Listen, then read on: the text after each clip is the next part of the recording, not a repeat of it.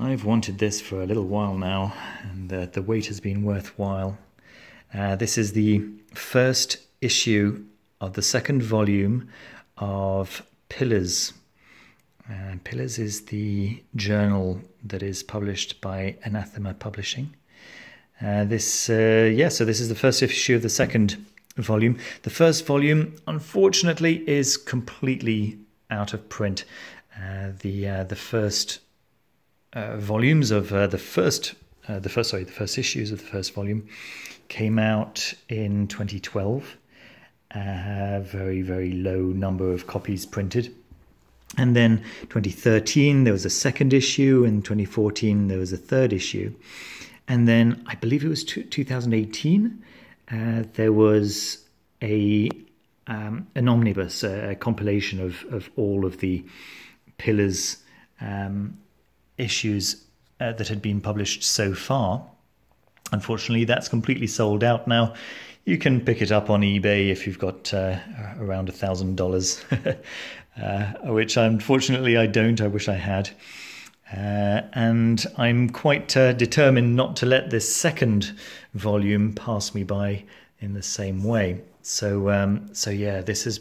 I, I, noticed this for the first time uh, standing on the shelves in um, Watkins Books in London, and you can see what a what a gorgeous, gorgeous uh, object it is.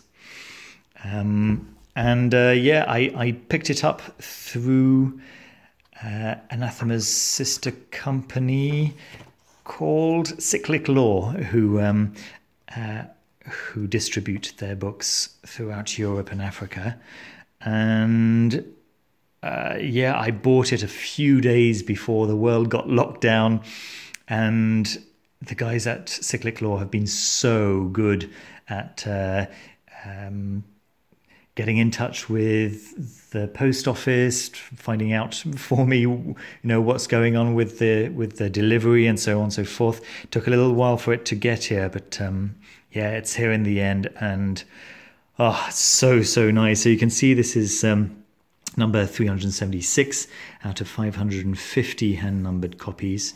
Um, and yeah, I uh, strongly recommend picking up a copy if you can. Uh, the the the authors of the various articles present in the in the in the journal are, are right here in the contents page. So Gabriel McCaughry, of course, writes the uh, the, the preface to the to the whole compilation. Uh, Dr. Skinner's uh, offering is fantastic. I mean, y- you know that I have my my qualms about uh, Dr. Stephen Skinner, but uh, but yeah, it's it's just it's so nice to read. His article is fantastic in here. Uh, I found, um, you know, as as with as you can expect, there's there are many authors, and so the um, uh, the interest that you're going to find in each article is is going to vary, of course.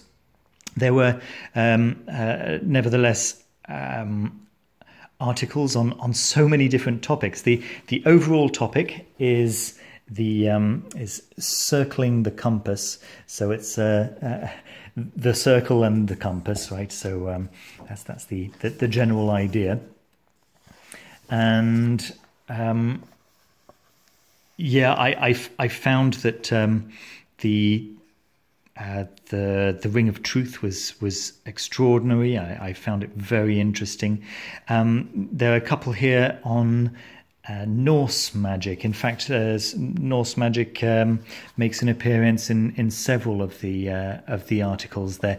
I, I'm I'm I don't know very much about Norse magic. I um, uh, I, am not I'm not drawn to it. I understand that uh, there's a there's an enormous community who is uh, very interested in Norse magic, which is which is terrific, right? But uh, my my knowledge really ends at uh, midsummer, I guess. Um, there we are. Um, what else did I really, really enjoy? Uh, I'm probably missing some. Uh, P.T. Mistlberger's Integrating Banishing and the Demon Billy. I, I learnt so much from this article. It's it's really, really fantastic. Um, uh, just unput downable. um, uh, the game of true knowledge, yes, fascinating. Uh, the circle as poetic praxis, um, uh, which I, I, I, thoroughly enjoyed, uh, but I, I think that um, uh, yeah, the rising was awesome. It's a it's a poetic path working, followed by a, a, a short um, a short commentary about what is going on during this uh, this path working. Very very interesting. Very very nice. Very cool. Uh, the compass and the rose. Yes, the the circle and the self. The compass. Personal journey. Oh, this was a great one as well. The new magical technology and its application. Łukasz Grochocki uh, writing about how he created his own magical alphabet um, and really gives an insight into the process of creating a magical alphabet. Right? He talks about the PGM um, and about the uh, uh, the the sounds that are involved in the uh, uh, Greco-Egyptian magical papyri um, and how that kind of um, the, the, the power of that kind of goes away once you start translating it, and uh, so he then uh, goes into how you can create your own um, language really for for your own magical operations, which is going to be um, uh, uh it, it, neither more nor less exactly what you are going to need for uh, for, for, yeah, for, for your magical um, uh, operations, and then yeah, the Rosa Mundi by Charlie Oates going into the uh, the um, symbology of the rose and so on and so forth. Uh, just uh, very very interesting, very very um, uh, useful for anyone interested in uh, in modern magic. And then the visuals, yeah, these beautiful illustrations all the way through. Uh, some photography, some um, uh, some some collage, some uh, some painting. Um, it's it's actually quite copiously illustrated, and uh, and all of the all of the imagery is is gorgeous and involving, and uh, directly speaks, in fact, to the um, to the articles uh, which they uh, are situated next to. Really, really cool stuff. Really, really lovely. It's uh, just a. Uh, yeah, as you can see, uh, the majority of the articles are are are actually quite well referenced.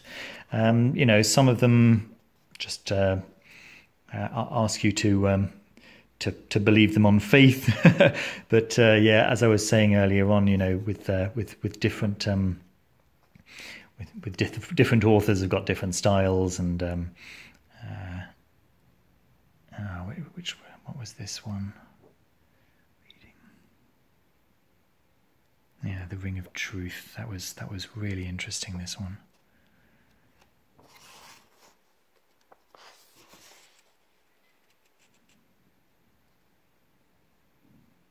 Yeah. Really great. Um, a strong, strong recommendation from me. As you can see, the um, the book is uh, is is gorgeously produced, as you can really expect from from Anathema Publishing. Very, very um, clean, very uh, uh, very careful um, uh, publishing publication. Um, uh, the you can see that the headbands there. It's uh, it's not particularly tight, um, although the, the book will close if you just leave it. Um, it's it's it's not particularly heavy, uh, although it's I mean it does have a does have a heft to it, right? But the pages themselves are quite um, uh, quite sturdy, right? And so they, they they do tend to want to come back to their original shape. Um, they're really nice thick paper stock as uh, well, I guess it's the usual paper stock that uh, Anathema Publishing uh, have um, got, got, us used to, right? um, yeah, just really, really gorgeous, and uh, yeah, uh, the the occasional um, uh, color color illustration as well. Close in on that. Yeah, so it's really, really nice. There we are. There's no, there's no um, uh, bookmark, although of course Anathema's um, trademark uh, laminated bookmark comes with every book that they sell. Um, that's it, guys. That's my review of uh, this wonderful uh, first issue of the second volume of Pillars. Um, I know that they're working on the second issue at the moment, uh, which is on um, Ares, uh, on on yeah uh, the god of war. So quite a quite a, a difficult uh, topic to approach. I'm sure that they're uh, that they'll put together some some very interesting stuff as as usual. Okay, so thanks ever so much everyone for for watching. Uh, thanks Cyclic Law for getting this to me safely. Thanks Anathema um, uh, and everyone at Anathema Publishing for, uh, for for putting out this this gorgeous gorgeous volume. Um, uh, really, really a, a, thoroughly enjoyable read. Um, and and yeah, I mean, look how cool that looks on the shelf. it's just uh, it's just lovely, just really really lovely. Okay, uh, don't forget to leave a thumbs up if you enjoyed the video, and to leave a comment and subscribe down below if you haven't done so already. Thanks very much, and see you soon.